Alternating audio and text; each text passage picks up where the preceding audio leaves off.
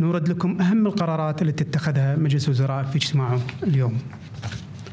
قرر مجلس الوزراء التالي أولا واحد عدم السماح بالسفر إلى خارج البلاد للمواطنين ما لم يكونوا قد تلقوا جرعتين من اللقاح المضاد لفيروس كورونا المعتمد لدى دولة الكويت ويستثنى من ذلك الفئات التالية. ألف الفئات العمرية غير الخاضعة للتطعيم. باء المواطنين الحاصلين على شهادة معتمدة من وزارة الصحة تفيد بتعذر حصولهم على اللقاح نتيجة لأسباب صحية. جيم. الحوامل. شريطة حصولهم على شهادة إثبات الحمل معتمدة من وزارة الصحة. وذلك اعتبارا من يوم الأحد الموافق 1 8 2021 اثنين.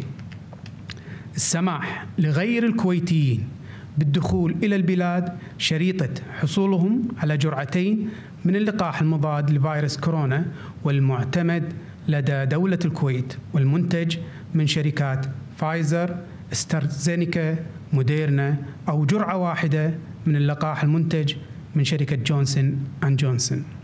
وذلك اعتبارا من يوم الأحد الموافق 1 8 2021 شريطة إجراء فحص PCR الأول قبل الوصول ب 72 ساعة يفيد بالخلو من الإصابة بفيروس كورونا والآخر خلال فترة الحجر المنزلي الممتدة لسبعة أيام بعد الوصول ويمكن إنهاء الحجر قبل ذلك في حال ظهور نتيجة فحص PCR تؤكد الخلو من الإصابة بفيروس بالفيروس أثناء فترة الحجر. ثانياً السماح للحاصلين على اللقاح المضاد لفيروس كورونا والفئات المعفاة من تلقي اللقاح بالدخول إلى الأماكن التالية. واحد صالات المطاعم والمقاهي يسمح لغير المحصنين فقط استلام الطلبات. اثنين الأندية الصحية.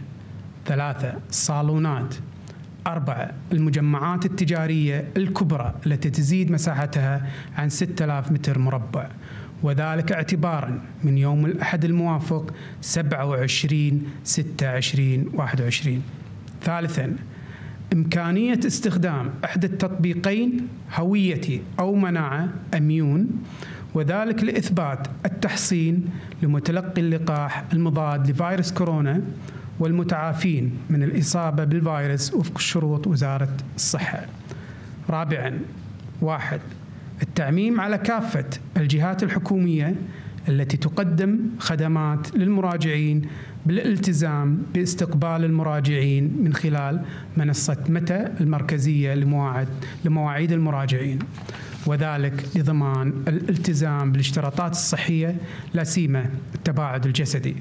اثنين تكليف ديوان الخدمة المدنية بدراسة آلية تطبيق نظام الدوامين صباحي مسائي لكافة الجهات الحكومية التي تقدم خدمات للمراجعين وموافاة اللجنة الوزارية لطوارئ كورونا بما تنتهي إليه الدراسة وذلك خلال أسبوعين.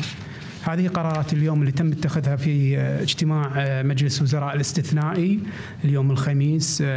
وقبل لا ندخل على الأسئلة مع الزملاء والزميلات اتخذ هذه الفرصة ل إذا تابعنا وياكم هذا الجزء من المؤتمر الصحفي للناطق باسم الحكومة الكويتية حول أهم القرارات اللي اتخذها الاستثنائية كما وصفها اللي اتخذها أو القرارات اللي اتخذها مجلس الوزراء في جلسته الاستثنائية هذا اليوم. أولا عدم السماح بالسفر لخارج البلاد وأن يكون شرط السفر بتلقي جرعتين باستثناء الحاصلين على شهادة معتمدة من وزارة الصحة تتعذر معها استخدام اللقاحات. يبدأ هذا والحوامل أيضا بشهادة إثبات الحمل من 1 8 2021 2021 السماح لغير الكويتيين بالدخول البلاد بشرط الحصول على جرعتي لقاح. أما فايزر أسترازينيكا موديرنا أو جرعة واحدة من Johnson and Johnson زائد فحص PCR قبل 72 ساعة وحتى خلال فترة الحجر المنزلي خلال سبعة أيام. والسماح للحاصلين على اللقاح المضاد والفئات المعفاة بالدخول إلى المطاعم والمقاهي باستلام طلبات الأندية الصحية المجمعات التجارية الكبرى.